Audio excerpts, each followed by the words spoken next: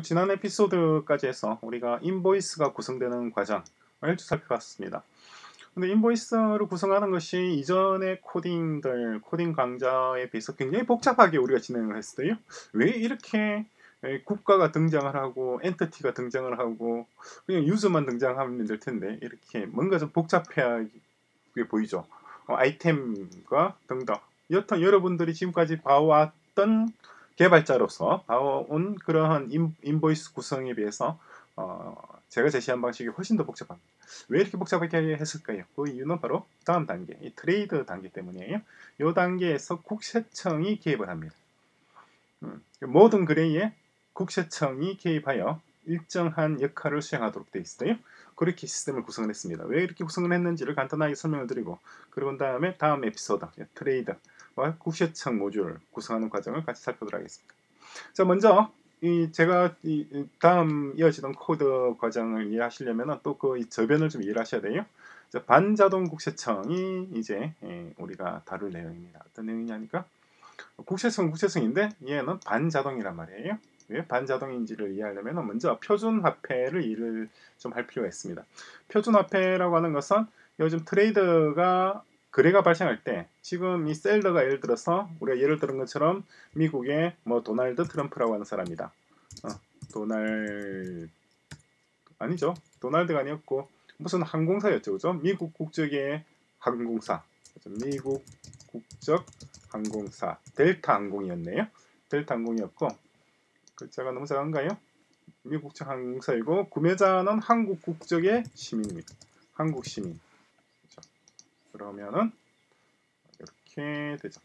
그러면 어떻게 되면 두 국가가 개입된 거래가 되는 거죠. 그럼 미국 국적 항공사가 판매한 어떤 상품에 대해서는 미국의 국세청이 과세를 해야 될 것이고 한국 시민이 업무 용도로 이 상품을 구매했다고 한다면 한국 시민이 구매한 업무 용도의 자산이죠. 그죠? 그러니까 그에 따라서 한국 시민의 앞으로 향후 과세의 이 부분을 어, 과세 지표에서 차감을 한다거나 등등의 절차, 즉 한국 국세청이 또 개입을 해야 됩니다.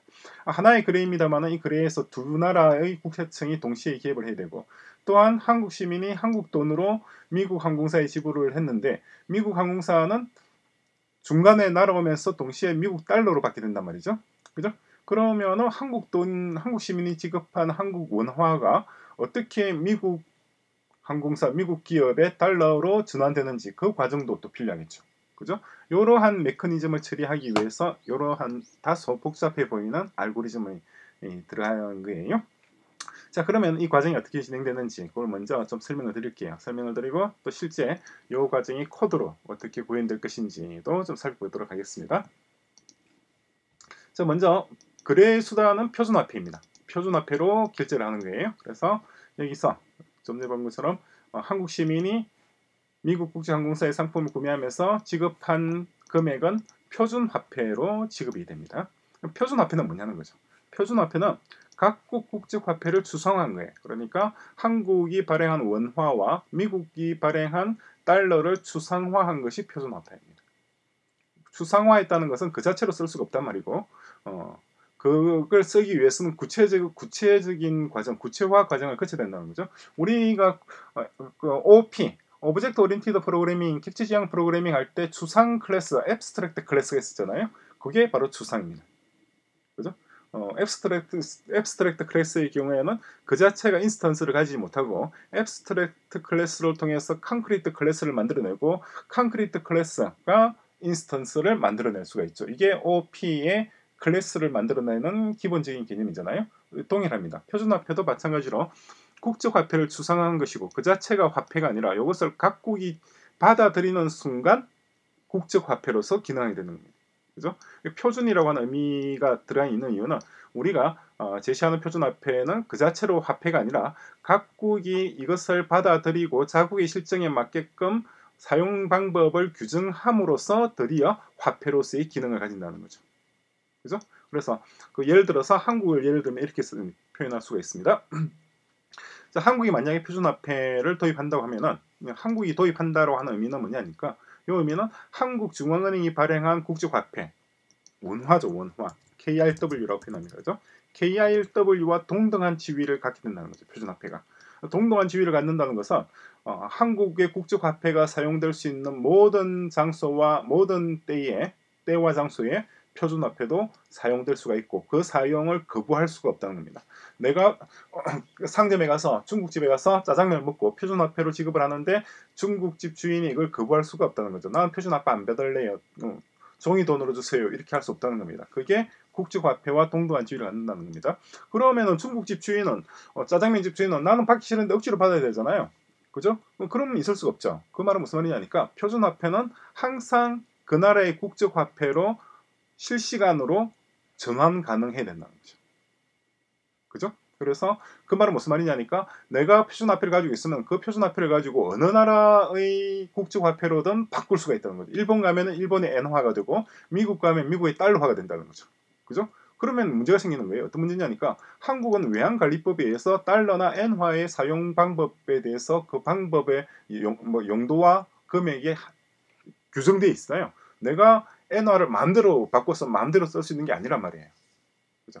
그러니까 표준화폐의 해외 사용 역시도 한국의 외환 관리법에 의해서 되는 겁니다. 한국인이 한국인이 한국인이 한국이 도입한 표준화폐를 사용할 경우 그렇게 되는 거죠. 미국인이 미국이 도입한 표준화폐를 사용할 때는 미국의 외환관리법에 의해서 제한되는 겁니다. 그죠? 마찬가지로 경기도가 표준화폐를 도입한다면 경기도가 도입한 표준화폐의 용도는 경기도의 규정에 의해서 제한되는. 경기도가 예를 들어서 어, 이번에 우리가 나눠주는 뭐 코로나 19 비상 뭐 생활 자금은 경기도 내의 어, 사행업자들을 대상으로만 지급해야 된다라고 하면은 이 표준 화폐는 그렇게만 사용된다는 거죠. 그죠? 따라서 그러면 이제 각국이나 각 지역 단체가 자기 마음대로 표준 화폐를 쓴다고 한다면은 이건 좀 문제가 생기는 거죠. 호환성이 문제가 되잖아요. 호환성. 미국이 발행한 표준화폐를 한국에서 쓸 수 없게 된다 그러면 이건 말이 안 되는 거죠. 그럼 표준의 의미가 아니잖아요. 그죠? 그러므로 표준화폐의 구체적 용법 등은 각국이 결정하되 각국은 그 호환성을 위한 프로토콜을 준수해야 되는 거예요. 그 프로토콜을 제시하는 것이 바로 우리 팀 주피터입니다. 우리가 코딩 표준화폐를 코딩하니까 우리가 코딩하니까 우리가 이 프로토콜을 제시하는 거예요. 그죠? 그러한 프로토콜이 그럼 뭐냐? 그 예를 들면은 이중과세 방지 같은 거예요. 그죠? 이중과세. 예를 들어서 한국과 지금 같은 홍길동과 어, 미국 국제항공사 간의 거래가 어, 한국에서도 과세가 되고 미국에서도 과세가 되고 그러면은 뭔가 이중과세가 되는 느낌이 들잖아요. 그죠? 사실 이중과세도 가능합니다. 그래서 이러한 이중과세를 방지할 방법이 뭐냐는 거죠.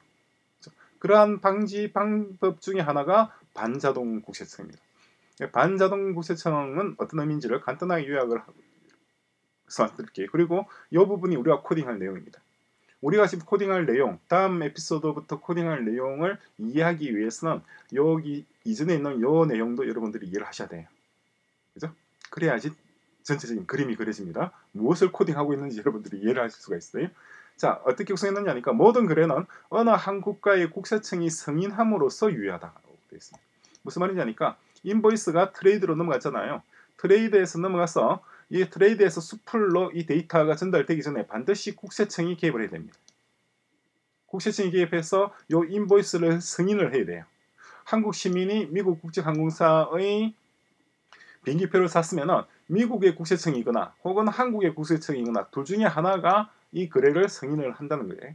승인을 하게 되면 승인됐다는 사실을 두고 수풀에 전달되고 그럼 수풀은 관련된 기관들에 대해서 특히 은행 같은 경우에다가 이 사실을 고지하게 되고 은행은 한국 시민의 계좌에서 미국 시민의 계좌로 미국 국제항공사의 계좌로 비행기표 인보이스에 있는 금액을 이체를 하는 거죠. 그게 뱅크 이자의 역할입니다. 그럼 이 뱅크는 어떻게 되나요? 이 뱅크는 한국 시민의 계좌도 조정할 수가 있어야 되고 미국 국제항공사의 계좌도 조정할 수가 있는 근원이 있어야겠죠. 그죠? 그러므로 이 bank는 global bank에 된다는 거죠. 글로벌 단위. 그것이 표준은행의 역할입니다. 표준은행에 대해서는 또 표준은행 관련해서 어, 설명을 좀 드리겠습니다. 어쨌거나 우리 이번 에피소드와 다음 에피소드에서 다룰 부분은 이 trade와 tax authority의 역할입니다. tax authority가 하면은 승인한다는 것은 그러니까 어느 한 국가의 국세청은 해당 국가 소속된 경제 단위가 참여하는 모든 거래에 제3자로 참여하는 겁니다. 반드시 모든 거래에 국세청은 참여하고 국세청이 참여해서 거래를 승인하고 또한 거기서 자신의 목을 가져가죠. 자신의 목이 뭐예요? 세금이잖아요. 그죠? 그래서 어느 한 국가의 표준은행 지점은 해당 국가 국세청이 승인한 거래에 의해서 판매자와 구매자 간의 계좌 잔고를 조정하는데 이거는 이제 표준은행에서 우리 다룰 겁니다. 다루는데 문제는 여러 국가가 개입되어 있는 다국적 거래의 경우 그러면 어느 국가가 승인을 하고 어느 국가가 어, 어느 국가의 은행이 이 계좌 잔고를 조정하느냐는 거죠. 그죠? 그러면 국가와 어, 국가들 간에 혹은 은행과 은행들 간에 혹은 국세청과 국세청들 간에 뭔가 약속이 있어야 될 거 아니에요. 그 약속이 프로토콜입니다. 이 프로토콜을 우리가 제시하는 거죠. 자, 그래서 이걸 왜 반자동이라고 그러면 얘기를 하느냐? 그러면은 이상의 이 과정이 자동적으로 진행돼요. 자동적으로 진행되도록 우리가 코드, 코드를 짜는 겁니다. 이 코드가 사람의 개입 없이 자동적으로 세금이 과금이 되고 어, 과금된 세금이 징세가 되고 징세된 결과가 은행 잔고로서 조정이 되는 거죠. 그래서 이러한 거래가 발생하게 되면 이 거래에 따라 수풀은 뱅크는 조정을 합니다. 누구 계좌를 조정하냐 니까 어, 적어도 세 개, 세 경제 단위의 계좌를 조정하죠. 첫째는 한국 시민 홍길동의 계좌, 두 번째는 미국의 델탄공사의 계좌, 세 번째는 이 거래를 미국 국세청이 승인했다고 한다면 미국 국세청의 계좌도 조정을 하는 거죠. 적어도 세 경제 단위는 반드시 모든 거래에 참여한다는 의미입니다. 자, 이걸 이제 인적 자원 없이 자동으로 진행하니까 자동인데 다만 각 상품별 어떤 상품에 얼마의 세율을 적용할 것인지는 어떤 거래에 어, 어, 얼마의 세율을 결정할 것인지 관세죠. 관세는 어떻게 결정할 것인지 등등은 사람이 결정한다는 거예요. 그래서 반자동입니다. 그럼 전자동 구세청도 있겠죠. 전자동은 요 과정 세율의 결정 역시도 자동화시키면 전자동이 되겠죠. 우리가 코딩할 것은 반자동 국세청이고 반자동 국세청은 별도의 커리큘럼, 별도의 강좌로서 지정을 진행을 합니다. 다만 방자동 국세청이라고 하는 이 프로젝트, 별도의 프로젝트죠. 이 프로젝트가 어떻게 구성이 되어 있고 어떻게 진행하고 왜 이런 프로젝트를 하는지에 대한 기본적인 개념은 바로 이번 에피소드에서 전제 여기서 어, 설명한 내용이 바로 어, 전제 전반적인 어떤 개념의 골조입니다.